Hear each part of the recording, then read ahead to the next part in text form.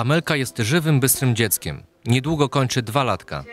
Mimo ciągłego uśmiechu na twarzy dziecka, życie dziewczynki nie jest kolorowe. Odwiedziliśmy rodzinny dom Amelki w gminie Wiśniew, miejscowość Borki Paduchy. Weronika, mama dziewczynki, opowiedziała, z jakimi problemami boryka się córeczka. E, Wada nazywa się tibial hemimelia, czyli wrodzony brak kości piszczelowych. No Amelka nie ma kości piszczelowych w obu nóżkach. Obecnie jest cały czas rehabilitowana. Jest to super efekt, no, tak jak na początku nóż, nóżki wyglądały. Nawet nie dało ich się odgiąć. Były takie straszne przykurcze. No teraz już praktycznie może wyprostować nogi na, na ten, no maksymalnie. Tydzień przerwy w rehabilitacji i przykurcze wracają. Pojawiła się także nadzieja. Rodzina pojechała na konsultacje do światowej klasy eksperta doktora Paleja, który z powodzeniem leczył Michałka z Jedlanki. Lekarz z Florydy zakwalifikował Amelkę do operacji. Niestety jej koszty są bardzo duże. Całość sięga 2 milionów złotych. Rodzina podjęła starania i chce zawalczyć dla Amelki. E, Potrzebne są duże środki. E, Jakie były przeprowadzone do tej pory e, działania w pozyskiwaniu? Jakie fundacje Was wspierają? Jesteśmy w Fundacji Słoneczko. Tutaj często rozdajemy ulotki, też były różne zbiórki.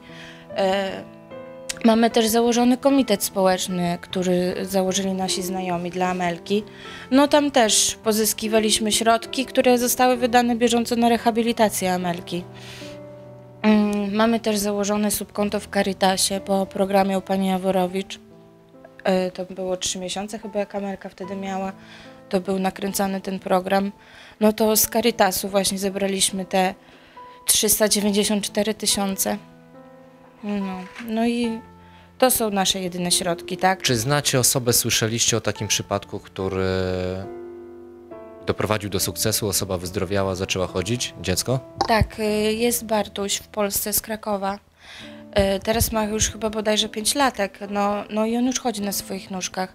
Miał taką samą wadę jak Amelka, też brak kości piszczelowych w obu nóżkach. Był u doktora Paleja. Teraz już chyba to leczenie za- zakończyli, tam jeszcze chyba kwestia y, wydłużania jednej nóżki. Śledzimy tam profil na, na Facebooku Bartka. No i chłopiec chodzi na własnych nóżkach. No oni jeszcze załapali się na początku na, na leczenie na NFZ. Mimo zebranej sporej kwoty brakuje jeszcze bardzo dużo. Amelce można pomóc na wiele sposobów. Podarować 1% podatku lub dokonać wpłaty przez portal się pomaga. W imieniu Amelki i rodziny prosimy o wsparcie.